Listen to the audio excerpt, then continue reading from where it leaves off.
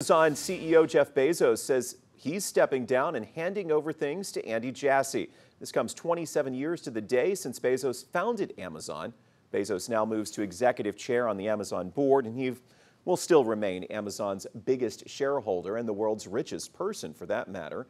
He started the company in his garage as an online bookstore, and now it's evolved into an e-commerce and tech giant. As Jassy, by the way, takes over for this job, he gets a stock award worth $214 million.